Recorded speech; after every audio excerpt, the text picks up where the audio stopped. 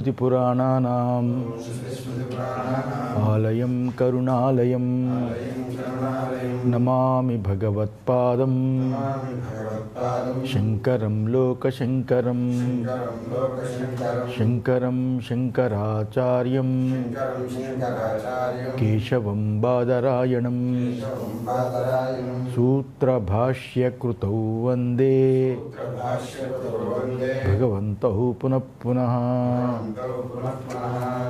श्रीगुरुभ्यो नमः। हरिः ओं ब्रह्मात्मज्ञानसम्पन्नं शोकमोहादिवर्जितं कृतकृत्यं गुरुं वंदे। सच्चिदानन्दज्ञानसिद्धये। సచ్చిదానందజ్ఞానసిద్ధయే ఈశావాస్యమిదగం సర్వం యత్కించ జగత్యాం జగత్ తేన త్యక్తేన భుంజీథా నాగృత కశ్యశ్విద్ధనం కుర్వన్నేవేహ కర్మాణి జిజీవిషేచ్ఛదగం సమాహ ఏవం త్వయి నాణ్యతే తోస్తి నకర్మలిప్యతే నరే. అని. ఈ రకంగా నిన్న పూర్వపక్షి ప్రశ్న వేశాడు. మొదటి మంత్రమేమో సన్యాసికి జ్ఞాననిష్ట అని చెప్పారు. రెండో మంత్రంలో ఏమో ఆ జ్ఞాననిష్ట ఎందు సామర్థ్యం లేని వాడికి కర్మనిష్ట అని ఉపదే ఉపదేశించారు అని అంటున్నారు. మీరు ఎలా నిశ్చయిస్తారు? రెండిటికి కలిపి చెప్పచ్చు కదా. దేనికి అదే అని ఎలా నిర్ణయిస్తారు? రెండిటికి కలిపి చెప్తే ఒక ధర తర్వాత ఒకటి వచ్చింది కదా. కర్మలు వదిలిపెడితే ఇన్ని దోషాలు ఉన్నాయి కదా. మను ఒప్పుకోవటం లేదు. స్మృతులు ఒప్పుకోవటం లేదు. వేదం ఒప్పుకోవటం లేదు. అక్కడక్కడ ఉత్థాయ భిక్షాచరించరంతని ఉన్నా అది షండులకి వికలాంగులకి విధురులకి వీళ్ళకి సంబంధించింది కానీ జిజీవిషేచ్ఛతకం సమాహాని కన ఈ మంత్రంలో చెప్తే బ్రతికున్నంత వరకు వంద సంవత్సరాలు బ్రతికున్నంత వరకు కర్మ చేస్తూనే ఉండని పక్కగా మంత్రం చెప్తుంటే మధ్యలో వదిలిపెట్టి సన్యసించాలని మీరు ఎలా చెప్తారు అని ఈ ప్రశ్నలు సంధించాడు. సంధిస్తే దానికి ఈ రెండింటికి చాలా విరోధం ఉంది అని చెప్పడానికి భాష్యం ప్రారంభమైంది. జవాబు దానికి చెప్తున్నారు సిద్ధాంతి. ఉచ్యతే. సమాధానం చెప్తున్నాం వినండి. జ్ఞానకర్మణో విరోధం పర్వతవత్ అకంప్యం యథోక్తం నా స్మరసి కిం. నాయనా నేను చెప్పింది మర్చిపోయావా ఏమి? నా స్మరసి కిం. నేను చెప్పిన దాన్ని మర్చిపోయావా ఏమిటి? ఒక్కసారి స్మరించలేదా? జ్ఞానానికి కర్మకి రెండిటికి పరస్పరం విరోధం ఉంది ఎంత విరోధం ఉందంటే పర్వతవత్ అకంప్యం. పర్వతము వలె స్పష్టంగా అప్ అకంప్యమైనది కదిలించలేనిది పర్వతము వలె రెండిటికి అంత విరోధం ఉంది అది మర్చిపోయావా? చెప్పానుగా ఇంట్రడక్షన్లో కూడా చెప్పాను కదా. ఆత్మజ్ఞానానికి కర్మలకి రెండిటికి పొత్తు కుదరదు. పొత్తు కుదరదు. జ్ఞాన మార్గానికి కర్మ మార్గానికి పరస్పరం విరోధం ఉంది. జ్ఞానం అంటే విచార మార్గం. శ్రవణము మననము నిధిధ్యాసన. జ్ఞానం అంటే కర్మ అంటే అనుష్ఠాన మార్గం. అనుష్ఠాన మార్గం. ఇక్కడ జ్ఞానం అంటే ఏమిటి? ఆత్మజ్ఞానమే. జ్ఞానం అంటే ఆత్మజ్ఞానమే. ఇక్కడ ఆత్మజ్ఞానం అంటే బ్రహ్మజ్ఞానమే. బ్రహ్మజ్ఞానమే. తన దేహాదుల కంటే తన శరీరాదుల కంటే కూడా వేరైనటువంటి శరీరాదులు అంటే శరీరము ఇంద్రియాలు మనస్సు బుద్ధి వీటన్నిటికంటా వేరైన అకర్తృ అభోక్తృస్వరూపుడైన ఆత్మే నా స్వరూపము అని తెలుసుకోవడమే జ్ఞానం. కర్తృత్వము లేనిది భోక్తృత్వము లేని ఆత్మయే నా స్వరూపమని తెలుసుకోవడమే జ్ఞానం. నేను జాతి వర్ణము ఆశ్రమము కలిగిన వాడినని తెలుసుకొని పుణ్యప్రాప్తి కోసం సశాస్త్రీయమైన కర్మలు చేయడం అనేది కర్మ మార్గం అకర్తని అభోక్తని అంటే నేను స్వర్గాది ఫలాన్ని పొందేవాడిని కాను కర్తృత్వాదులు కలవాడిని కాను అని తెలుసుకోవడం జ్ఞాన మార్గం. నాకు జాతి ఉంది బ్రాహ్మణ క్షత్రియ వశ్య ఇత్యాది వర్ణం ఉంది ఆశ్రమం ఉంది గృహస్థుణ్ణి బ్రహ్మచారిని వానప్రస్థుణ్ణి అని ఇలా ఆశ్రమం ఉందని ఈ రకంగా ఆశ్రమాన్ని బట్టి కులాన్ని బట్టి పుణ్యకర్మ కొరకు శాస్త్రీయమైన కర్మలు చేయడం ఏదైతే ఉందో అది కర్మ మార్గం. ఇలా జ్ఞానానికి కర్మకి పరస్పర విరోధం ఉంది. జ్ఞానానికి కర్మకి పరస్పర విరోధము ఉంది. ఆ జ్ఞానము ఏదైతే ఉందో అది వేరు కర్మ వేరు. అజ్ఞానం అంటే ఇక్కడ కర్మలయందు ప్రవృత్తి. అజ్ఞానం అంటే కర్మలయందు ప్రవృత్తి. అజ్ఞానము చేతనే వర్ణాశ్రమ అధ్యాస. నేను ఈ కులపోణ్ణి అంటారు కదా. నేను బ్రాహ్మణ్ణి నేను క్షత్రియుణ్ణి అని అధ్యాస. ఆశ్రమ అధ్యాస వర్ణాశ్రమల చేత ఈ యొక్క కర్మల అజ్ఞానం చేతనే. నేను అనే దానికి వర్ణము జాతి అనేది లేదు. నేను అనేది ఆత్మ. శరీరాన్ని నేను అనుకొని శరీరంతో తాదాత్మించింది అప్పుడు అధ్యాస పొందుతున్నాడు. నేను బ్రాహ్మణ్ణి క్షత్రియుణ్ణి అలాగా. అందువల్ల ఈ అధ్యాస కారణం ఏమిటి? అజ్ఞానము చేతనే. జ్ఞానం ఉంటే ఈ అధ్యాస ఉండదు. శరీరం వేరు తాను వేరు అని తెలుసు. జ్ఞానం ఉంటే జ్ఞానం ఉంటే అలాంటి వాడికి అనిత్యమైన ఫలాల యందు ఆసక్తి ఉండదు. జ్ఞానం ఉంటే అనిత్యమైన ఫలాల యందు ఆసక్తి ఉండదు. అందువల్ల బ్రహ్మజ్ఞానికి కర్మల యొక్క హంగు కొంచెము కూడా ఉండదు. కర్మల యొక్క హంగు ఏదైనా ఫలం ఆశిస్తే కదా క్రి కర్మ చెయ్యాలి. ఆకలేస్తే అన్నం తిన్నట్టు. దాహం వేస్తే నీరు తాగినట్టు. అలాగా ఏదైనా కావాలనుకుంటే కర్మ చేయాలి జ్ఞానికి ఏ ఆశ లేదు. ఏ విషయం ఎందు కోరిక లేదు. ఎందువల్ల? ఆశ కోరిక ఇవన్నీ అతనికి తాదాత్మ్యం ఉన్నప్పుడే. దేని ఎందు తాదాత్మ్యం లేదు. వాడి స్వరూపము బ్రహ్మ ఆత్మ అని తెలుసుకున్నవాడు. అలా జ్ఞానం ఉంటే కర్మలు ఉండవు. కర్మలు ఉంటే జ్ఞానం ఉండదు అంతే కదా? జ్ఞానం ఉండదు ఇలా చెప్పినంత మాత్రాన కర్మలు వద్దే వద్దు. కర్మలు చేయనే చెయ్యను. కర్మల వల్ల ప్రయోజనం లేదు అని అనుకోకూడదు. ఇలా చెప్పేసామని ఇంకా కర్మలు వద్దే వద్దు. నాకు జ్ఞానం కలిగింది. ఆత్మ వేరు శరీరం వేరు.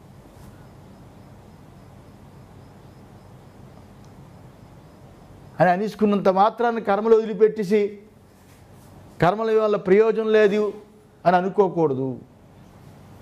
ఎందువల్లంటే కర్మల వల్ల ఆయాయా ఫలప్రాప్తి కర్మయోగం వల్ల చిత్తశుద్ధి ఇది గుర్తుంచుకోవాలి. కర్మల వలన కర్మష్టి కర్మలు చేస్తుండడం వల్ల ఆయా ఫలప్రాప్తి వస్తుంది.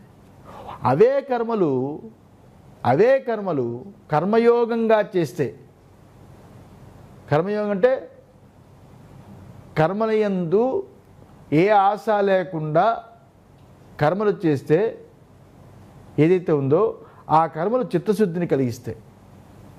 చిత్తశుద్ధిని కలిగిస్తాయి. కర్మయోగం చేత ఆత్మజ్ఞానము యొక్క యోగ్యత కలుగుతుంది. జ్ఞానం తరువాత జ్ఞానం అయిన తరువాత కర్మ అవసరం ఉండనే ఉండదు. జ్ఞానం కలిగిన తర్వాత కర్మ అవసరం ఉన్నది కానీ ఒక్క నేను ఆత్మనేది నేను శరీరం కాదంటే జ్ఞానం కాదు.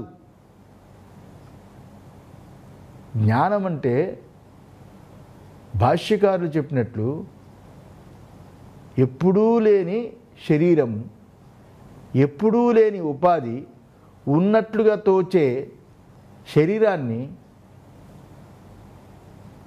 కేవలం నేను కాదు అనుకుంటే సరిపోదు. శరీరము లేని ఇంద్రియములు లేని మనస్సు లేని బుద్ధి యొక్క స్పందన లేని నేను అనే భావము కూడా తొలిగిన స్వరూపమైన ఏకాత్మ దర్శనము చేసిన వాడు వాడు జ్ఞాని. ఆ దర్శనము కలగనంత వరకు వాడు జ్ఞాని కాదు పదాలు తెలుసును. ఆ దర్శనం కలగాలి. దర్శనం అంటే ఇక్కడ అనుభవం కలగాలి. అందువల్ల అనుభవ పర్యంతం ఆత్మవిచారం. అనుభవం కలిగే వరకు ఆత్మవిచారం చేస్తూ ఉండాలి. అది ఏతద్ స్మవై తత్ పూర్వే విద్వాంస ప్రజా నా కామయంతే కిం ప్రజయా కరిష్యామో ఏషాం నోయమాత్మాయం లోక అని బృహదారణ్యకోపనిషత్తులో నాలుగు నాలుగు ఇరవై రెండు చెప్పారు రా కిరణం. ఎంత అద్భుతమైన మాట చూడండి బృహదారణ్యకుల్లో ఏతద్దస్మవై తత్పూర్వే విద్వాంస. ప్రజాం న కామయంతే కిం ప్రజయా కరిష్యామో. ఏషాం నోయమాత్మాయం లోక అని బృహదాన్యకం నాలుగు నాలుగు ఇరవై రెండు చెప్పబడింది. పూర్వే అంటే ప్రాచీనులైన విద్వాంస. ప్రాచీనులైన విద్వాంసులు. విద్వాంసులు అంటే ఆత్మజ్ఞానులు తత్వజ్ఞానులు. సంతానం కోసం వాళ్ళు ఆరాటపడటం లేదు. సంతానం కోరడం లేదు. ప్రజాం నా కామయంతే. సంతానం కోసం ఆరాటం పడలేదు అయ్యో మగపిల్లడు పుట్టలేదే. అయ్యో పిల్లలు లేరే అని సంతానం కోసం ఆరాటం పట్టలేదు కిం ఎందువల్ల ఆరాట పట్టలేదంటే కిం ప్రజయా కరిష్యామ ఈ సంతానంతో నాకేం పని? ఈ సంతానంతో నాకేం పని? కిం ప్రజయాకరిష్యామ ఏషాం నోయమాత్మాయం లోక? మనకు ఆత్మనే ఈ లోకం ఉండాలి కానీ ఈ ఆత్మనే ఈ లోకం ఉండగా ఈ సంతానంతో పనేమి? పృథివీ విభాగంతో కూడుకున్న సంతానము పృథివీ విభాగంతో కూడుకున్న ఆ సంతాన్ని కన్నా ఈ శరీరం పృథివిలో కలిసిపోయేది. వీటితో నాకేం పని? ఆ భూతంతో. ఆ భూతాలతో నాకేం పని? సమస్త భూతాలకి ఆధార పురుషుడైన ఆత్మ నేను అయ్యున్నాను. అలా ఆత్మతో నాకు పని కానీ ఈ సంతానంతో నాకేం పని? అని జ్ఞానులు తత్వజ్ఞానులు తెలుసుకున్నారు. నిశ్చయించారు. తెలుసుకుని ఊరుకోలేదు. తెలుసుకుని ఊరుకుంటే అది ఒక సినిమా అవుతుంది. ఇంకొక సినిమా కోసం చూస్తాం. నిశ్చయించారు. నిర్ణయం అయిపోయింది. అలాంటి సు- అలాంటి ఆత్మజ్ఞానులు ఉన్నారు. అధ్యయన మాత్రవత అని బృదాన్యకుల్లో మూడు నాలుగు పన్నెండులో సూత్రంలో అక్కడ భాష్యంలో ఆచార్య కులాద్ వేదమధీత్యా అని చాందోగ్యంలో వచ్చిందని కోట్ చేస్తూ అక్కడ భాష్యాన్ని చూపించారు. బ్రహ్మసూత్ర భాష్యంలో. ఆ భాష్యార్థం ఏమిటంటే కర్మకి కర్మకి అధ్యయనము వేదార్థ జ్ఞానము ఆవశ్యకం. కర్మలు చేయాలంటే అధ్యయనం ఉండాలి. వేదార్థ జ్ఞానం తెలియాలి. అప్పుడు కర్మ కుదురుతుంది. శ్రౌత యాగాలు ప్రారంభమవుతాయి. శ్రౌత యాగాలు ప్రారంభమవుతాయి. అలా అవి ఆవశ్యకమైనప్పటికీ అధీత్య అనుంది. అధీత్య అని చెప్పడం చేత కర్మలకు తగినంత కర్మలకు తగినంత అధ్యాయాన్ని దానితో కలిగే జ్ఞానాన్ని అధికారానికి కారణము కావచ్చు. కదా? ఆ కర్మలకు అధ్యయనం ఆ యొక్క కర్మలు చేయడానికి కావలసిన జ్ఞానం ఎంత ఉంటుందో అంత జ్ఞానము పొందడానికి అది కారణం కావచ్చు. కానీ ఔపనిషదమై ఉన్న ఉపనిషత్తుల్లో ఉన్న ఉపనిషత్తుల్లో ఉన్న ఆత్మజ్ఞానానికి ఏమీ కర్మాధికారము అవసరము లేదు. ఆత్మజ్ఞానము అంత గొప్పది. ఎందుకంటే ఆత్మ గురించి చర్చిస్తే అంగములు లేని అవయవములు లేని ఇంద్రియములు లేని ఆత్మను బోధించుతున్నప్పుడు ఆత్మ కోసం అంగములు అవయవములు ఇంద్రియములను ఉపయోగించుకోదు. ఇప్పుడు మీరు నాతో ఆత్మజ్ఞానం వింటున్నారు. ఇప్పుడు శ్రవణం చేస్తున్నారు. ఏ ఉపయోగిస్తున్నారు? శ్రవణేంద్రియ ఉపయోగిస్తున్నారు. కదా? ఆ శ్రవణేంద్రియ ఎలా ఉపయోగిస్తున్నారు? చెవి నా దగ్గరికి వచ్చేసి మనసు ఎక్కడికి వెళ్తున్నదా? మనసుని శ్రవణేంద్రియాన్ని రెండింటినీ పెట్టి వింటున్నారు. ఆ రెండే అక్కడ ఉపయో ఉపయోగం ఆత్మజ్ఞానానికి. ఈ రెండిటి ద్వారా ఆత్మజ్ఞానం వింటూ వింటూ వింటూ ఉంటే ఆత్మకి ఇంద్రియములు లేవు మనస్సు లేదు అని చెబుతుంది. ఏ మనస్సు ఇంద్రియాలతో వింటున్నామో ఆ రెండూ కూడా లేవని చెబుతుంది ఆత్మజ్ఞానం చర్చిస్తున్నప్పుడు. ఎతో వాచో నివర్తంతే అప్రాప్య మనసా సహ. ఎతో వాచో వాచో అంటే వాక్. వాక్ ఉపలక్షణం. వాక్ అంటే అన్ని ఇంద్రియాలని అర్థం. అదే శ్రవణేంద్రియం కూడా వస్తుంది. మనసా మనస్సు. ఈ రెండు ఆత్మని తెలుసుకోలేకపోయాయి. అందుకే ఈ రెండు ఆత్మకి ఆత్మీయందు ఈ రెండు లేవు. శ్రవణేంద్రియం లేదు మనో ఇంద్రియం లేదు. అన్నప్పుడు మనస్సు అలాగే శ్రవణేంద్రియము రెండింటినీ ఆత్మజ్ఞానం తొలగిస్తుంది. పాట చెబుతూ చెబుతూ శ్రవణం చేస్తూ చేస్తూ చేస్తూ మన తొలగిస్తున్నప్పుడు రెండింటినీ తొలగించగా ఆ శ్రవణం చేస్తున్న శిష్యుడు శిష్యుడు ఇంద్రియాలను తొలగించాడు మనసును తొలగించాడు ఎక్కడ ఉన్నాడు? ఆత్మానుభవంలో ఉన్నాడు. ఆత్మానుభవంలో కూర్చోపెట్టడానికి ఏదైతే ఉపకరణలుగా ఇంతవరకు ఆత్మజ్ఞానం వినడానికి ఉపయోగపడిందో శ్రవణేంద్రియము మనస్సు ఆ రెండింటినీ తొలగించగా ఉన్న ఆత్మ తానే ఉన్నాననే అనుభవాన్ని కలిగించేది ఆత్మానుభవం. అందులో శ్రవణేంద్రియాన్ని తీసేస్తుంది మనస్సును తొలగించేస్తుంది రెండు ఆత్మీయందు లేదంటుంది ఆత్మ నీవై ఉన్నా ఉంటుంది మనస్సు లేని కర్మ ఎలా కుదురుతుంది? ఇంద్రియములు లేని కర్మలు ఎలా కుదురుతాయి? రెండింటినీ తొలగించుకొని నిశ్చయమే పొందాడు. నేను ఆత్మ అని శ్రవణం చేసిన శిష్యుడు ఆత్మైపోయాడు. అలాంటి ఆత్మజ్ఞానానికి ఇంద్రియాలు లేవు మనస్సు లేదు. మనస్సు ఉంటే సంకల్పం ఇంద్రియాలు ఉంటే వర్క్. అంతే కదా? సంకల్పం లేకుండా కర్మ ఉంటుందా? అలాంటి ఆత్మజ్ఞానంలో శరీరంతో పని లేదు. ఏ ఇంద్రియాలతో పని లేదు ఒక్క శ్రవణేంద్రియంతో తప్ప మనసుతో తప్ప. ఈ రెండు కూడా తొలగించి చూపిస్తుంది ఆత్మని. ఇక వాడు ఎలా కర్మ చేస్తాడు? కర్మకాండకి వాడు ఎలా ఉపయోగపడతాడు? ఆత్మని తెలుసుకుని ఆత్మ నేనే అని నిశ్చయం పొందినవాడు ఆత్మ కాని వాటినన్నిటినీ తొలగించుకున్నవాడు నిషేధించినవాడు నేతి నేతి అని నా ఇతి నా ఇతి అని. దాని ఎందు పట్టు ఉన్నవాడు దాని ఎందు లగ్నమైనవాడు దాని ఎందు నమ్మకం ఉన్నవాడు దాని ఎందు అనుభవం ఉన్నవాడు వాడు కర్మలు చెయ్యలేడు. అందువల్ల ఆత్మజ్ఞానం కోసం కర్మాధికారం అవసరం లేదు అని ఇంతవరకు చెప్పాడు ఇక ఇప్పుడు ఇహాపి ఉక్తం యోహి జిజీవిషేత్ స కర్మాణి కుర్వన్నేవా ఇతి ఈశావాస్యమిదం సర్వం ఇహాపి ఉక్తం ఇక్కడ కూడా అంటే ఈ ఉపనిషత్తుల్లో కూడా చెప్పింది. ఏమని? యోహి జిజీవిషేత్ స కర్మాణి కుర్వన్నేవ ఇది ఈశావాస్యమి దిగం సర్వం. ఎవడు బ్రతిక బ్రతక బ్రతక గోరుచున్నాడో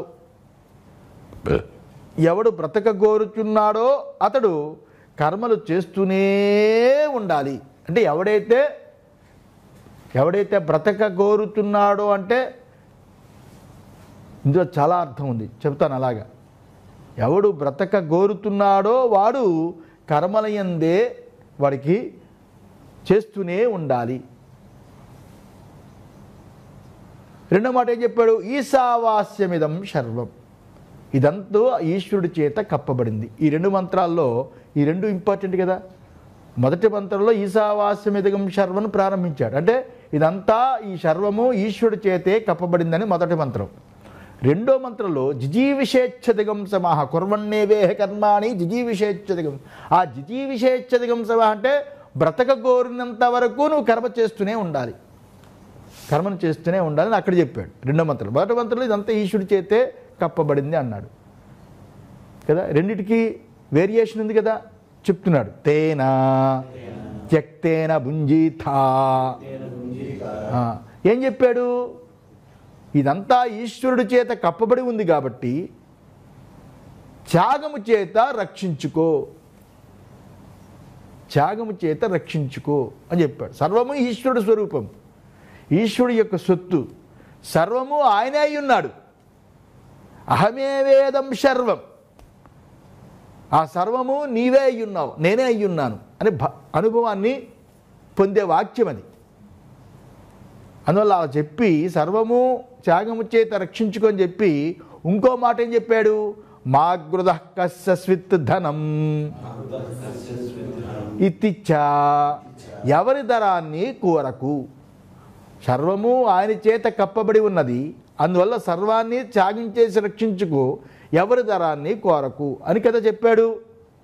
అని కదా చెప్పాడు.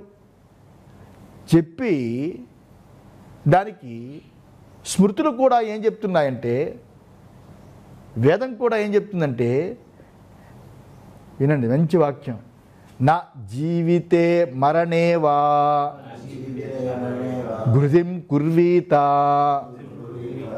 అరణ్యం అరణ్యమీ మియాదితి.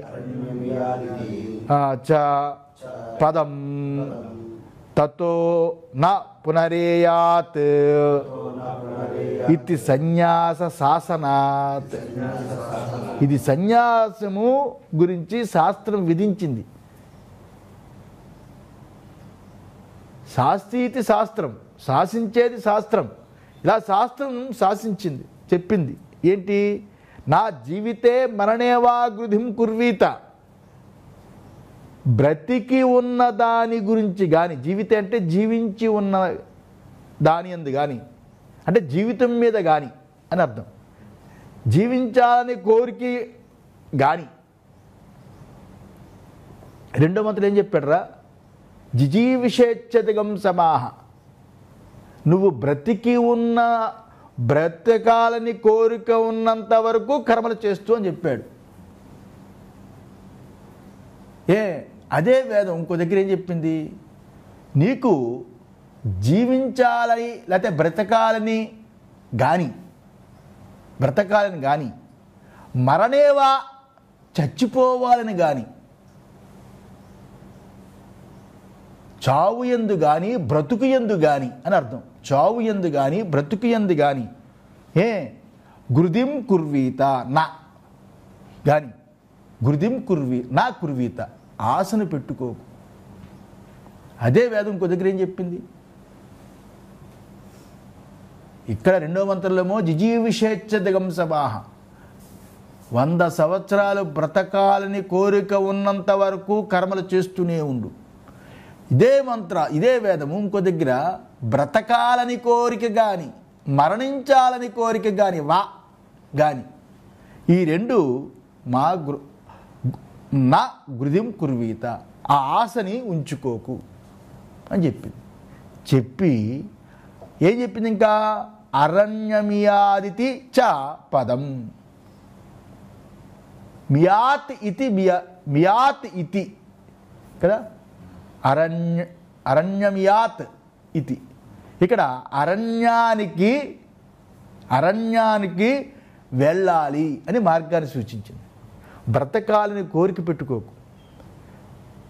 చావాలని కోరిక వద్దు. ఈ ఆశను వదులు. అరణ్యానికి వెళ్ళు అని మార్గాన్ని చెప్పింది. చెప్పి తత తతో నా అన్నారు కదా తత మరలా నా పునరేయాత్ అతని నుండి మళ్ళా వచ్చీకు. పెళ్ళం గుర్తొచ్చింది పిల్లలు గుర్తొచ్చారు. అమ్మ నాన్న గుర్తొచ్చారు వాళ్ళు తిరిగి రాకు. బండారాలు తిని తిని బోల్ డబ్బులు సంపాదించాను నా కొడుక్కి ఇవ్వాలి నా కూతురికి ఇవ్వాలి నా పెళ్ళానికి ఇవ్వాలని మళ్ళీ ఋషికేశ్ నుంచి విశాఖపట్నం వచ్చి ఇచ్చి వెళ్ళ రాకు. అరణ్యాల నుంచి మళ్ళీ తిరిగి రాకు. ఇది సన్యాస శాసనాత్. ఇలా శాసించింది వేదం. బాగుందా? మరి అక్కడ చెప్పింది ఇక్కడ ఏంటి అంటే అర్థం ఏంటంటే ఎవరికైతే జ్ఞానం లేదో అజ్ఞానం ఆత్మజ్ఞానం లేదో ఎవడైతే అజ్ఞానిగా ఉన్నాడో ఎవరికైతే వైరాగ్యం లేదు ఎవరికైతే సంసారం ఎందు మోహం పోలేదు ఎవరికైతే ఇంద్రియ సన్నికర్ష జ్ఞానం కావాలని కోరుకుంటున్నాడు అలాంటి వాడికి కర్మలు చేయి. ఆ కర్మలు ప్రతిపాదించకపోతే స్వర్గాదుల గురించి తెలియకపోతే మనిషి పశువు కంటా హీనమైపోతాడు. రాత్రి పొగలు కాలము ధర్మము దేశము అని లేకుండా బరితగిస్తాడు అన్ని పశుపక్షాదుల కంట అన్నిటికంట ఎక్స్ట్రా ఇన్స్ట్రుమెంట్ ఉన్నవాడు ఎవడంటే మనిషి. వాడికి బుద్ధి ఉంది ఆ బుద్ధి దుర్వినియోగం చేస్తాడు. ఆ బుద్ధిని కంట్రోల్ చేసి ఆ బుద్ధికి జ్ఞానాన్ని కలిగించడానికి లోక లోకాంతరాల గురించి చెబుతూ దాని గురించి ప్రయత్నించే ఈ బుద్ధిని వాడుకొని పశుపక్షాదుల్లాగా ఈ జీవనం చెయ్యకని దాని నుంచి డైవర్ట్ చేయడానికి స్వర్గాది లోకాల్ని ప్రేరేపించి స్వర్గాది లోకాల యొక్క ఉత్తమ లోకాలు చూపిస్తుంది. ఎవరికి? వైరాగ్యం లేని వాడికి అజ్ఞానికి. అసలు బ్రతుకు మీద జీవితం మీద వైరాగ్యం కలిగి శరీరం ఎందుకు పుడుతుంది? ఎందుకు చచ్చిపోతుంది? చావు పుట్టుకలకి కారణం ఏమిటి? నాకెందుకు ఈ దుఃఖం వస్తుంది? ఈ దుఃఖాన్ని పోవడానికి ఎందుకు నేను సుఖం కోసం ప్రయత్నం చేస్తున్నాను? ఈ సుఖదుఖాదులు కొంపటలో పడి మోహం చేత నలుగురు నాకు ఉండాలని చెప్పి ఒక భార్య భార్యతో పిల్లలకని ఒకళ్ళు లేక ఇద్దరు అనుకుని వాళ్ళతో ఉండి వాళ్ళ ఉద్యోగాల కోసం ప్రయత్నం చేస్తూ వాళ్ళ ఉద్యోగాలు వచ్చిన తర్వాత కోడ కోడలతో పోరాటం చేస్తూ ఇళ్ళల్లో పడుకుంటూ టీవీలు చూస్తూ జీవితాన్ని గడుపుతూ ఈ రకమైన మోహంతో జీవితాన్ని ఎందుకు వ్యర్థం చేస్తున్నాను? డస్ట్బిన్లో చెత్తపడిపోయినట్టుగా చచ్చిన తర్వాత శ్మశానంలో కాల్చిపోవడమే కదా శరీరం. ఈ మాత్రం దానికి పెద్ద పోరాటం పెద్ద వీరుణ్ణి అనుకొని ఇళ్ళల్లో కూర్చొని పెద్ద రెండు గుండెలు ఇప్పి గుండె చూపించడం ఎందుకు? ఈ శరీరాన్ని ఈ రకంగా ఉపయోగించడం ఎందుకు నాకు ఈ యాతన?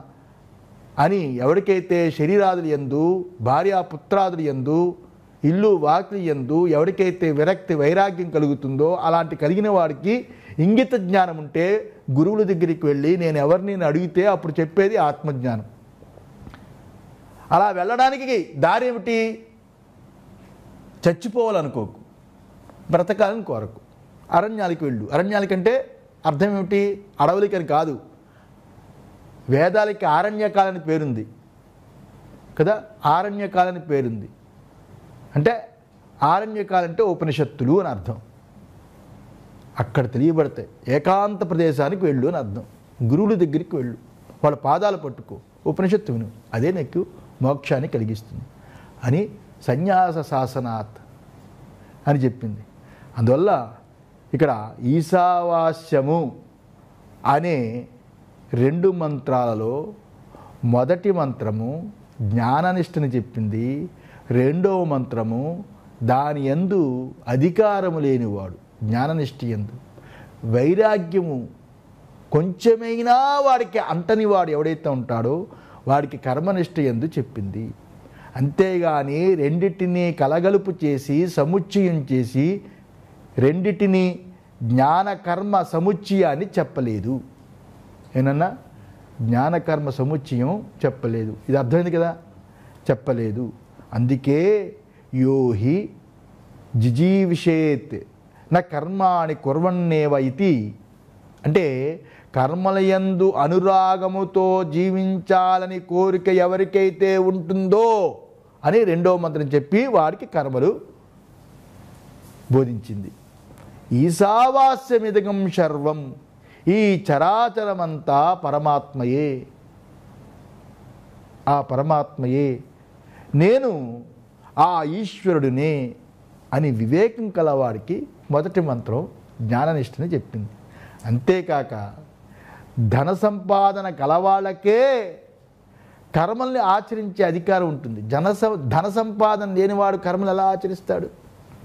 అంతే కదా? భిక్షాటన చేస్తే ఎలా చేస్తాడు? సన్యాసి కాషాయం కట్టి అన్నం తప్ప ఇంకేవి అడుక్కోకూడదు. మర్మాంగం కనిపించకూడదు కాబట్టి కౌపీనం తప్ప ఇంకేవి కోరకూడదు.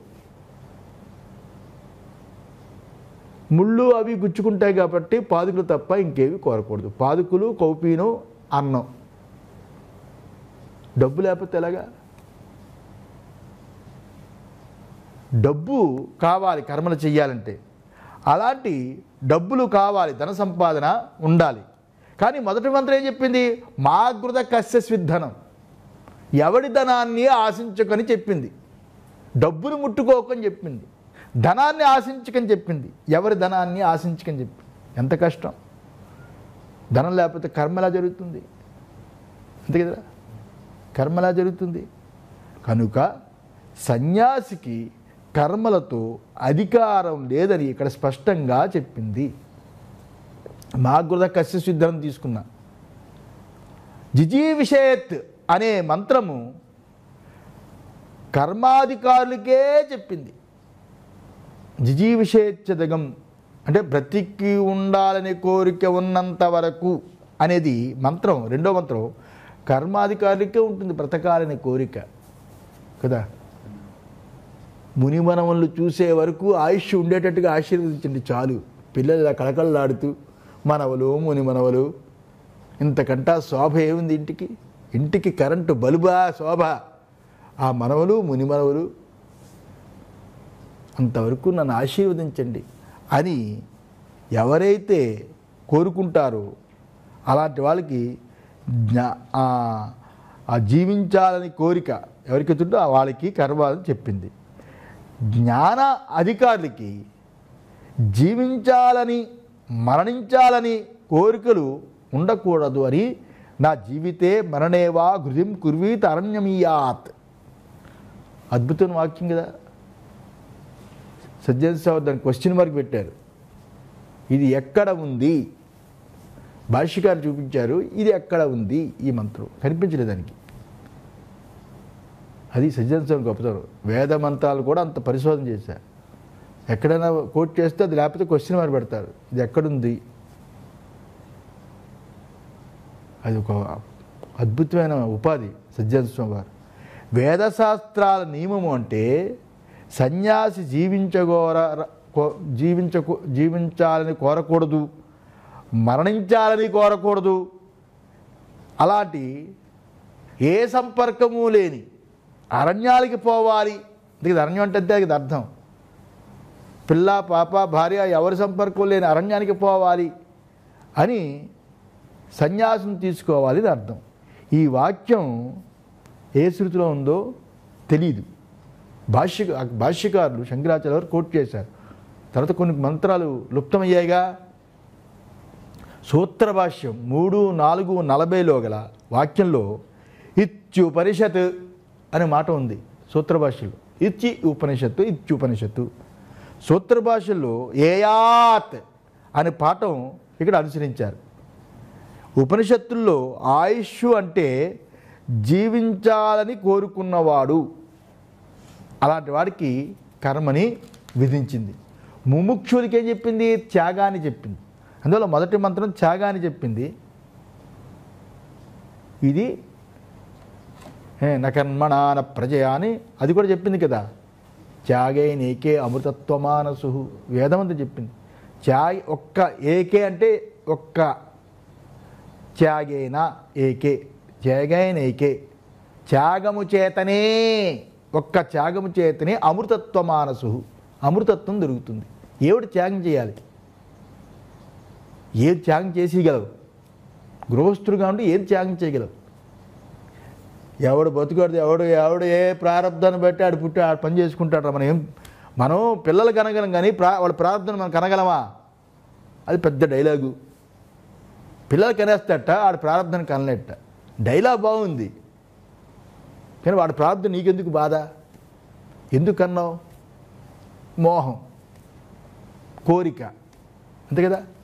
ఆ కోరిక మోహం ఉండడం చేత సంతానోత్పత్తి అయింది. సంతానోత్పత్తి అయిన తర్వాత వాడు బాధ భరించలేక వాడు ప్రారంభం అంటున్నావు. వాడి ప్రారంభంతో నువ్వు ముడిపడి ఏడుస్తున్నావు. అవి ఆ భావాలు ఆ మానసిక ఆందోళనలు శారీరక స్పందనలు మోహాలు. ఇవన్నీ ముముక్షువు త్యాగం చెప్పింది. అందువల్ల శాస్త్రము సన్యాసాన్ని విధించడం వల్ల జ్ఞానకర్మల సముచ్చయానికి శాస్త్ర సమ్మతి లేదు అనడానికి ఇదే ప్రమాణం. అందువల్ల ఈ రెండింటిని విడదీస్తే అది జ్ఞాననిష్ట ఇది కర్మనిష్ట అని చెప్పామయ్యా. అంతేగాని నువ్వింత చేటభారతం చదివి ఏ చచ్చే వరకు కర్మలు చేయాలి? కర్మలు వదిలిపెడితే ఎలాగా? ఎన్నెన్నో మంత్రాలు చదివి ఇవి చదివి మనుస్మృతి చెప్పి ఈ సన్యాసం ఎవరికి? షండుడికి విదురుడికి వికలాంగుడికి అని చెప్పావు. ఎంత ద్రోహం అది వేదం అంత వా అంత దీనిగా చెప్పదు కదా అని అర్థం చేసుకోవాలి. అర్థమైందా? ఉభయో ఉభయో ఫలభేదం చ వక్షతి ఈ రెండిటికి వేరు వేరు ఫలాలని ఈ ఉపనిషత్తు యందు ముందు తెలిపాం. ముందు తెలిపాం. జ్ఞాననిష్ఠులకు ఏం చెప్పాం? చివరిగా చెప్పేస్తున్నా. జ్ఞాననిష్ఠులకి తత్రకో మోహక శోక అని ఆత్మజ్ఞానం చేత శోకము మోహము తొలుగు తొలుగుతుందని ఈ ఉపనిషత్తుల్లో ఏడవ మంత్రంలో రాబోతుంది. వాడికి మోహం ఎక్కడిది? శోకం ఎక్కడిది? మోహం లేదంటే అర్థం పక్కగా దాని అర్థం అంటే మోహము అంటే అంటే దేని మీద మోహం? విషయాల మీద మోహం. విషయాలు కాలగాలి అంటే భార్యాపుత్రాదులు ఉండాలి. ఆ మోహం వాడికి మోహం ఎక్కడిది అంటే అవన్నీ వదిలిపెట్టాడని అర్థం. శోకం ఎక్కడిది అంటే ఎక్కడుంటుంది శోకం? ద్వితీయం వా భయం భవతి. రెండోది ఉంటేనే శోకం భయం ఉంటుంది. కదా? వాడు ఏకాకి యతచిత్తాత్మ నిరాశి అపరిగ్రహ అయిపోయాడు. ఏకాకి అయిపోయాడు యతచిత్తాత్మ అయిపోయాడు. వాడికి మోహం ఎక్కడిది? శోకం ఎక్కడిది? మోహం ఎక్కడిది? అందులో జ్ఞాననిష్ఠకి ఈ రకంగా శోకమోహాలు ఉండవని ఏడో మంత్రం చెబుతుంది.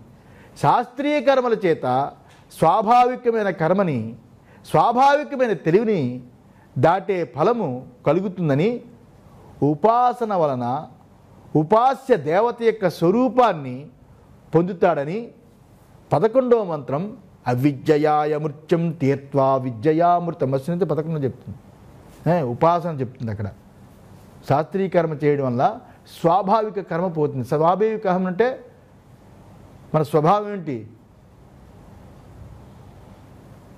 భార్య పిల్లలు వస్తువులు విషయాలు సేకరణ దాన్ని అనుభవించడం దానికోసం పోరాడడం ఆకలి కోసం వేటాడడం అది కాకుండా రేపటి కోసం నెల కోసం సంవత్సరం కోసం సరుకులు తెచ్చుకోవడం దాచుకోవడం ఇది మన స్వభావం.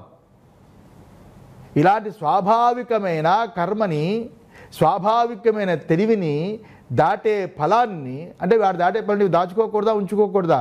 ఇదే కాదు దీనికంటా అతీతమైన అలౌకికమైన స్వర్గం ఉంది అది పొందితే ఉత్తమ గతులవి ఉత్తమ గతులు పొందని చెప్పడానికి ఆ ఫలాన్ని కలిగించడానికి ఉపాసన ఉపాస్య దేవత వాటి స్వరూపాన్ని పొందడానికి అవిద్యయాయ మృత్యం తీర్త్వ అవిద్యయ. అవిద్య అంటే కర్మలనే మృత్యువు నుంచి దాటి విద్యయామృత వస్తుతే విద్య అంటే ఉపాసన. అమృతలోకాన్ని స్వర్గలోకాన్ని కలిగిస్తుందని పదకొండవ మంత్రం చెబుతుంది. అందులో అగ్నేనయ సుపథారాయే అస్మాన్ అని పద్దెనిమిదవ మంత్రం చెబుతుంది. ఓ అగ్ని మమ్మల్ని మంచి సుపథ. అంటే కదా? సుపథ. అంటే మంచి మార్గము. ఓ అగ్ని మమ్మల్ని మంచి మార్గంలో తీసుకుపో అని చెప్పింది. కనుక ఫలభేదాన్ని పరిశీలించినా కూడా ఈ నిష్టలు రెండు ఒకే నిష్ట కాదని వేరు వేరు నిష్టలని తెలుస్తుంది అనేది ఇక్కడితో ఆపాం. ఇక్కడితో ఆపాం. ఇమౌ ద్వావేవ పంథానా వను నిష్క్రాంతతరౌ. భవత. అంతే ఉందా? క్రియాపద పదశ్చైవ పురస్తాత్. సన్యాసశ్చ ఉత్తరేణ చ. నివృత్తి మార్గేణ. ఏషణత్రయస్య త్యాగ. ఇమౌ ద్వావేవ పంథానా. కదా? ఈ రెండు మార్గాలే బయలుదేరాయి ఈ పైన చెప్పేంతవరకు చెప్పాం కదా? ఈ రెండు మార్గాలే వేదాల్లో బయలుదేరాయి అందుకనే వేదం అంటే ఏమిటి అంటే జ్ఞానకాండ కర్మకాండ అంటారు. రెండు కాండలు. జ్ఞానకాండ ఉపనిషత్తులు కర్మకాండ అంతా మిగతా భాగం. ఈ రెండు మార్గాలే బయలుదేరాయి. ఇందులో కర్మ మార్గము మొదటిది. తరువాత సన్యాసము. ఏ? క్రియాపదశ్చైవ పురస్తాత్ సన్యాసస్థ ఉత్తరేణ చ. కర్మ మార్గము మొదటిది తరువాత సన్యాసము. అంటే ఇక్కడ నివృత్తి. ఏ? ఉత్తరేణ చ నివృత్తి. నివృత్తి. ఈ మార్గాల వలన ఏష్ణాత్రయాన్ని వదలాలి. ఈ మార్గం చేత నివృత్తి మార్గం చేత అని అర్థం. ఈ నివృత్తి మార్గం చేత ఈ సన్యాస మార్గం చేత ఏషణాత్రయ ఏషణాత్రయస్య త్యాగ. లోకేషణ విత్తేషణ పుత్రేషణ త్యాగాన్ని చెప్పింది. మరి సన్యాసం అవసరమా కాదా? జ్ఞానానికి మోక్షానికి జ్ఞానం అవసరం. జ్ఞానం నిలబడడానికి సన్యాసం అవసరం. జ్ఞానానికి అంగం సన్యాసం. సన్యాసం వల్లే మోక్షం కాదు జ్ఞానం వల్ల మోక్షం. జ్ఞానాదేవత కైవల్యం. కైవల్యం అంటే మోక్షం. జ్ఞానము చేతనే మోక్షం. జ్ఞానం నిలబడడానికి సన్యాసం. ఇది బాగా గుర్తుండాలి. అందులో జ్ఞానానికి అంగం సన్యాసం. జ్ఞానం దేనికి బ్ర- వస్తుంది? జ్ఞానం దేనికి? జ్ఞానస్య పరిపాకార్థం పరివ్రాజకస్య అని బృద బ్రహ్మసూత్రంలో దగ్గర వస్తుంది జ్ఞానస్య జ్ఞానాన్ని పరిక పరిక జ్ఞానస్య పరిపాకార్థం జ్ఞానం పరిపాకం అవడానికి జ్ఞానం పూర్తిగా వాడికి అనుభవానికి రావడానికి పరివ్రాజకస్య సన్యాసముని. అందులో సన్యాసము జ్ఞానానికి అంగము.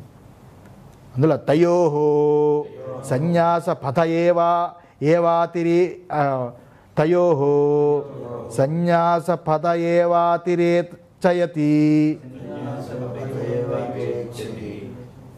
పథ ఏవాతిరేచయతి చయతి ఇది కూడా క్వశ్చన్ మార్క్ పెట్టారు సజ్జనస్వామి వారు ఈ రెండిటిలో ఏది ముఖ్యం ఏది గొప్పది? సన్యాస పథయేవా సన్యాసమే ఈ రెండిట్లో ఎక్కువ. సన్యాసమే ఈ రెండిట్లో ఎక్కువ.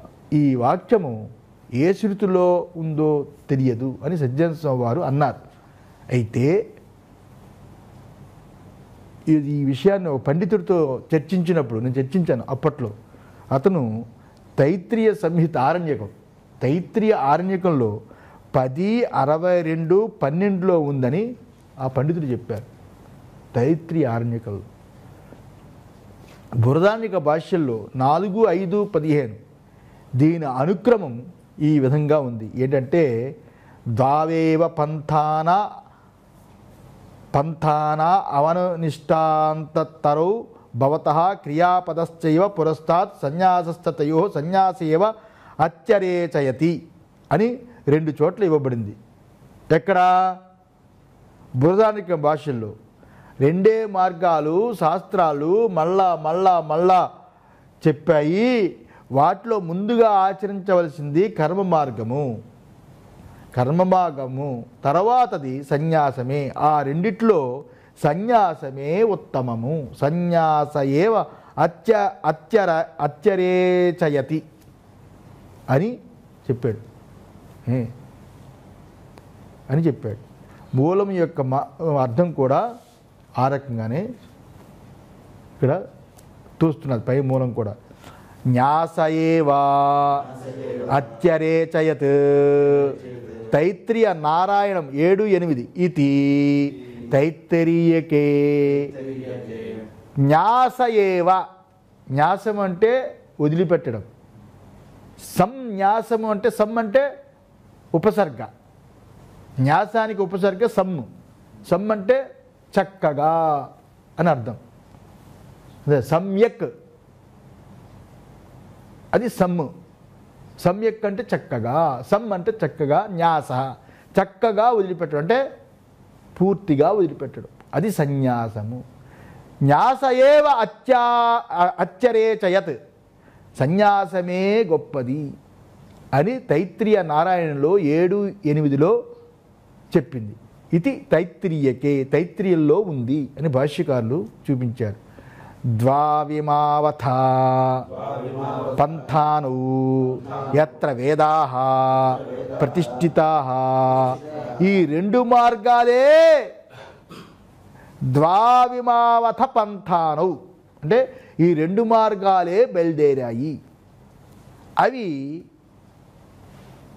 అవి ఎక్కడ చెప్పబడ్డాయి? ఎత్ర వేదాహ ప్రతిష్ఠితా ఈ రెండు మార్గాలు ఎక్కడ చెప్పబడ్డాయి? వేదంలో చెప్పబడ్డాయి. వేదమే ప్రమాణము. అర్థమైందన్న వేదమే ప్రమాణము. ఈ రెండు మార్గాలు వేదంలోనే చెప్పబడ్డాయి. వేదంలో మరి మరి గుచ్చు ఏం చెప్పింది? న్యాసయేవ అత్య అత్యరేచయత్. సన్యాసమే గొప్పది. ప్రవృత్తి లక్షణో ధర్మ. నివృత్తశ్చ విభాషిత. అది మోక్షధర్మం. మహాభారతం. మోక్షధర్మ పర్వంలో రెండు వందల నలభై ఒకటి ఆరు అందులో చెప్పబడింది. ప్రవృత్తి లక్షణో ధర్మ. నివృత్తశ్చ విభాషిత. ఒకటి ప్రవృత్తి రూపమైన ధర్మము రెండు నివృత్తి రూపమైనది. రెండు నివృత్తి రూపమైనది అని మహాభారతంలో కూడా ఇది మోక్ష ధర్మంలో సుఖాను ప్రశ్నలో ఉంది. సుఖాను ప్రశ్న సుఖుడు అడిగే ప్రశ్నలో ఉంది. అంతకంటే ప్రమాణం ఏముంది సన్యాసానికి? ఈ నివృత్తేచ సుభాషిత అని ఉంది అక్కడ. విభాషిత అని ఇంకొక పాటల్లో ఉంది. ఇక్కడ సుభాషిత అని ఉంది విభాషిత అని ఉంది. పాఠాంతర భేదం. అర్థందా ఇత్యాది పుత్రాయ విచార్య నిశ్చితం. ఉక్తం వ్యాసేన పా వేదాచార్యేణ భగవత. ఈ రకంగా ఒకటి ప్రవృత్తి రూపమైన ధర్మము రెండు నివృత్తి రూపమైనది అని ఈ రకంగా మోక్ష ధర్మ పర్వంలో ఉంది. ఇత్యాది పుత్రాయ విచార్య అంటే ఇలా నిశ్చయించి నివృత్తి ధర్మము ప్రవృత్తి ధర్మము అని నిశ్చయించి పుత్రాయ తన పుత్రుడైన తన కుమారుడైన శుకుడికి ఏ? ఉక్తం. శుకుడికి భగవాన్ వేదవా వేదాచార్యుడైన వేదాచార్యేణ భగవత అన్నాడు కదా వ్యాసేన. ఎవరు వేదాచార్యుడైన భగవంతుడు? వ్యాసుడు. అలాంటి ప్రవృత్తి మార్గము నివృత్తి మార్గము అని రెండు నిశ్చయించి తన కుమారుడైన శుకుడికి భగవాన్ వేద వేదాచార్యుడైన వేదవ్యాసులు వారు ఉపదేశించారు. శుకుడికి సుఖ మహర్షికి వేదవ్యాసుడు ఉపదేశించారు. అనే రెండు మార్గాలు ఉన్నాయి ఈ రెండు మార్గాలు నీకేం కావాలో చూడు. నేను పెళ్ళి చేసుకోను నేను వెళ్ళిపోతాను వెళ్ళిపోతాను అంటున్నావు. రెండు మార్గాలు ఉన్నాయి. కర్మ మార్గం ఉంది నివృత్తి మార్గం ఉంది అని బోధిస్తున్నాడు. విభాగం చ అనయో దర్శయిష్యామ ఆ రెండిటికి గల తారతమ్యాన్ని శంకరాచార్య చెప్తున్నాడు. ఆ రెండిటికి గల తారతమ్యాన్ని అనయోహ విభాగంచ విభాగంచ అనయోహో ఆ రెండిటికి గల తారతమ్యాన్ని దర్శయిష్యామ మేము చూపబోతున్నాం. ఎప్పుడు సన్యాసులు ఏకవచనం వాడకూడదు. బహువచనం వాడాలి. మేము అని వాడాలి. దర్శిష్యామ మేము చూడ చూ చూపబోతున్నాము. ఇప్పుడు ఆత్మ యొక్క యథాత్మ్యం జ్ఞానాన్ని చెబుతున్నాడు. ఆత్మ యొక్క యథార్థ జ్ఞానాన్ని ఆత్మ యొక్క యథార్థాన్ని చూపిస్తున్నాడు. దీనికి హెడ్డింగ్ నేనే పెట్టుకున్నా. ఆత్మ యొక్క యథాత్మ్యం. అందులో ఉంది. ఉందా? అవతారిక. మూడో మంత్రానికి. అథ ఇదానీ అవిద్వత్ నిందా అర్థోయం. మంత్ర ఆరభ్యతే. ఇక ఇప్పుడు అజ్ఞానులకి అవిద్వత్ అంటే విద్వాంసుడు కానివాడు అవిద్వాంసుడు అజ్ఞాని. ఇక ఇప్పుడు అజ్ఞానులకి అజ్ఞానుల్ని అజ్ఞానులని నిందించడం కోసం ఈ మంత్రం ప్రారంభించబడుతున్నది. రాబోయే మంత్రం ప్రారంభించబడుతున్నది. ముందు జరిగే ఒకటి రెండు మంత్రాలు వివరించదలిచి వాటిని వివరించాలి కదా ఒకటో మంత్రం దాన్ని ప్రతిజ్ఞావాక్యాలు అనమాట మొదటి మాత్రం అంతా అంతా సర్వము పరమాత్మయే పరమాత్మయే అంతా సర్వము అయినప్పుడు నీదేం అందులో ఉంది? సర్వాన్ని వదిలిపెట్టు సన్యసించు అనేది మొదటి మంత్రం. అది జ్ఞాననిష్ట. రెండో మంత్రం ఏంటి? జాతి గుణము వర్ణము వీటి మీద పూర్తిగా అభిమానం ఉండి మోహం కర్మలయందు ఫలాలయందు కోరిక ఉన్నవాడు కర్మలయందు అధికారము. బ్రతికున్నంత వరకు కర్మ అనేది రెండో చెప్పింది. ఇలా రెండు మంత్రాలు ఇలా చెప్పి వదిలేసింది ఇవి ప్రతిజ్ఞావాక్యాలు. కానీ ఈ రెండింటిని వివరించాలి కదా. ఈశావాస్యమిదిగం సర్వం అంటే సర్వము ఈశ్వరుడు. ఆ ఈశ్వరుడు యొక్క స్వరూపం ఏమిటనేది వర్ణించడానికి రాబోతుంది. నెక్స్ట్ ఆత్మ ఆత్మ గురించి. అలాగే కర్మలు పొందేవాడు ఉపాసకుడు ఉపాసుడు ఏ రకంగా బయలుదేరుతాడు ఏ రకంగా స్వర్గాన్ని పొందుతాడని కూడా వర్ణిస్తుంది. ఆ వర్ణానికి ముందు ఈ రెండింటిని ఈ మంత్రాలు రెండింటిని వర్ణించడానికి ముందు ఇక్కడ నిందని ప్రారంభించాడు ఈ రెండింటికి ముందు. మూడవ మంత్రం నింద అజ్ఞాని నింద. ఏమని? ఏ ఆ అజ్ఞానులు ఎవరు? జ్ఞానుల అజ్ఞానుల అజ్ఞానులు ఈ యొక్క కర్మిష్ఠుల అజ్ఞానుల. జ్ఞానం దృష్టిలో కర్మిష్ఠుల అజ్ఞానులు. అర్థమైందా? జ్ఞానుల దృష్టిలో కర్మిష్ఠుల అజ్ఞానులు. ఓకే సరిపోయింది. కానీ అటు కర్మ చేయక ఇటు జ్ఞానము పొందక రెండు వదిలిపెట్టిన వాడు ఎవడు వాడిని నిందిస్తుంది ఇక్కడ. వాడు ఏమంటాడు? ఏమంటాడు అసన్నేవసభవతి చెప్పండి. అది అసత్ బ్రహ్మేతి వేద చేత్. అసన్నేవస భవతి. అసలు బ్రహ్మమే లేదు. అసలు బ్రహ్మమే లేదు. అసన్నేవస భవతి. అసత్ బ్రహ్మేతి వేద చేత్. అసలు బ్రహ్మమే లేదు. బ్రహ్మం గురించి ఇంక చర్చ ఏముంది? అని అంటున్నాడు. దేవుడు లేదు దెయ్యం లేదు అంటాడు అంటారు కదా అలాగా. వాడి గురించి నింద. ఈ రెండు మార్గాల్ని వదిలిపెట్టినాడు ప్రవృత్తి మార్గం నివృత్తి మార్గం రెండు మార్గాలు వదిలిపెట్టి ఈ రకంగా ఉంటాడు కదా. వాడి గురించి చెప్తుంది. చెప్పాలి కదా వాడి గురించి కూడా. అంటే బ్రహ్మము లేదు అని తెలుసుకునేవాడు ఎవడైతే ఉన్నాడో అసన్నేవసభవతి అసత్ బ్రహ్మేతి వేద చేత్. ఎంత అద్భుతం. ఎవడైతే బ్రహ్మము లేదు అని అంటున్నాడో వాడు అసత్ పురుషుడే అని అక్కడ మంత్రం అర్థం. అసత్ పురుషుడు అంటే వాడే లేనివాడు అయిపోతాడు. అంతే కదా? ఇందులో చాలా సూక్ష్మమైన అర్థం ఉంది. బ్రహ్మము లేదు అంటే బ్రహ్మము లేదు అనడానికి ముందు ఎవరు ఉండాలి నేను ఉండాలి నేనుండి అది లేదని చెప్తాం. వేదం ఏం చెప్తుంది? నీ యొక్క నేను యొక్క ఉనికియే బ్రహ్మం అంటుంది బ్రహ్మం అంటే లేదు అనడానికి వస్తువు కాదు విషయం కాదు. బ్రహ్మం గురించి ఏం డిస్కషన్ చేస్తుంది? ఎవడైతే నేను అంటున్నాడో ఆ నేను యొక్క ఉనికే బ్రహ్మం అంటుంది. ఆ ఉనికిని వదిలిపెట్టి నేను అని అనగలవా? నేనున్నాను అని ఉన్నానని ఉనికితోటే నేనని చెప్తున్నావు. ఉన్నానని ఉనికి లేకుండా నేననే మాట ఎలా వస్తుంది? నేను అనేది ఎక్కడి నుంచి పుడుతున్నది అసలు? ఇంద్రియాల నుంచి పుడుతుందా? శరీరం నుంచి పుడుతుందా? మనసులోంచి పుడుతుందా? ఎక్కడి నుంచి పుడుతుంది? శరీరం నుంచి పుడుతుంది అంటే అది మాట్లాడడానికి ఆ యొక్క ఆలోచన రావడానికి అది జడం అక్కడ పనిచేయదు ఇంద్రియాల నుంచి పుడుతుందా అంటే ఇంద్రియాలు విషయాలు చూడడానికే పని కానీ ఆ రకమైన విషయం దానికి లేదు. మనస్సు నుంచి పుడుతుందా అంటే మనస్సు ఉందని చెప్పడానికి నేను ఉండాలి కానీ నేను ఉండడానికి మనసు చెప్పలేదు.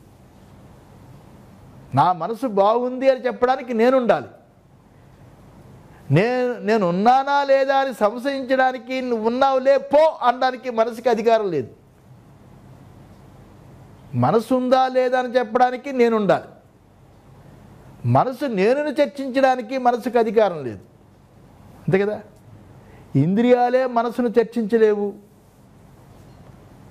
మనసు ఇంద్రియాలు చర్చిస్తుంది. నా కన్ను బాగుంది నా కన్ను బాగోలేదు నా చెవి బాగా వినిపిస్తుంది నా చెవి బాగా వినిపించలేదు మనసు చర్చిస్తుంది.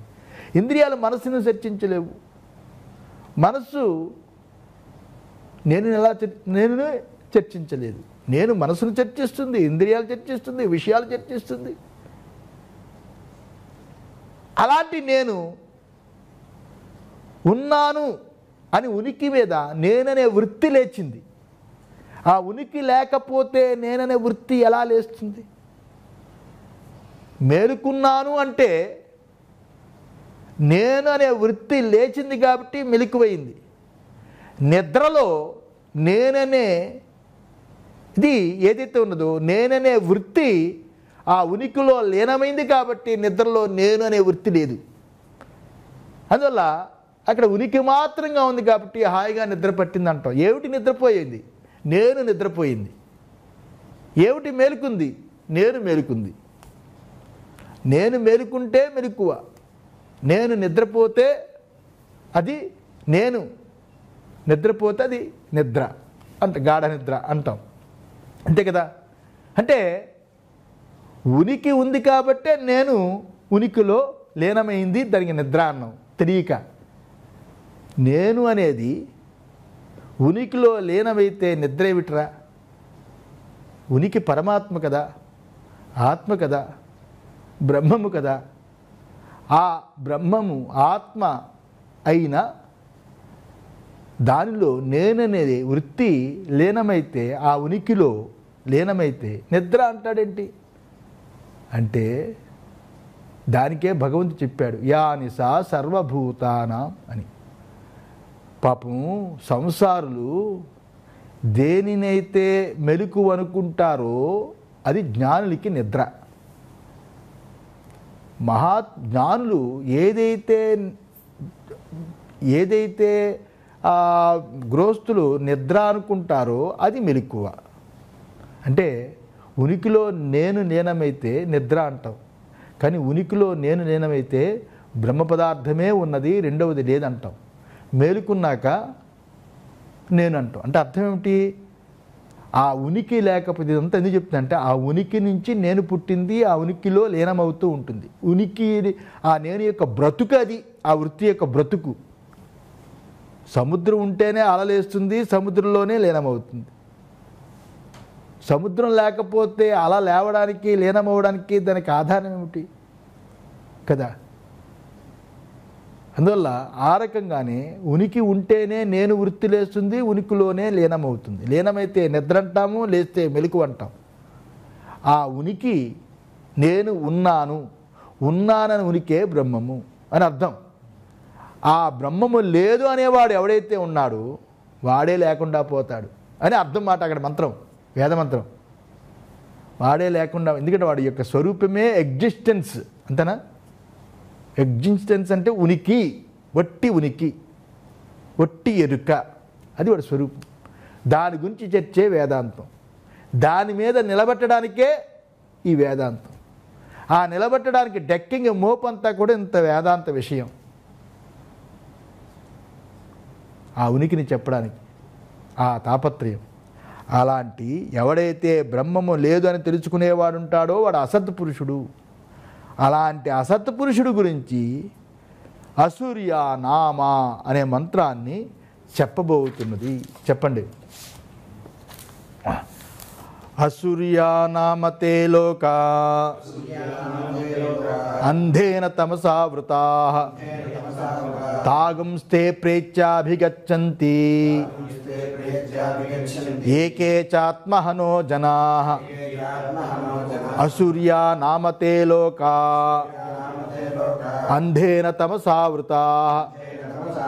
తాగుంస్తే ప్రేత్యాభిగచ్చन्ति ఏకే చాత్మహనో జనా. అసూర్యాలనేబడే ఈ లోకాలు ఏవైతే ఉన్నాయో అవన్నీ కూడా గ్రుడ్డి మబ్బు చేత అని మన వాళ్ళు రాశారు. ఏ చిమ్మ చీకటి చేత అంతా కట్టిక చీకటి చేత ఏదైతే కప్పబడి ఉన్నదో అది అసూర్యానామాలోకాలు అంటే కట్టిక చీకటితో కప్పబడిన లోకాలు అని అర్థం. కటిక చీకటితో కప్పబడిన లోకాలు. అలాంటి లోకాలు ఎవరెవరు తన ఆత్మని చంపుకుంటారో అంటే ఆత్మ లేదు బ్రహ్మం లేదు అంతే కదా నాస్తికులు అనేది ఎవడైతే చంపుకుంటున్నారో అలాంటి జనాహ అలాంటి జనులు ప్రీత్య చచ్చిపోయిన తర్వాత ఆ లోకాలకి పొందుతారు అనేది మంత్రం. సహనావతు సహనో భునక్తు సహవీర్యం కరవావహి తేజస్వినావధీతమస్తు మా ఓం శాంతి శాంతి శాంతి.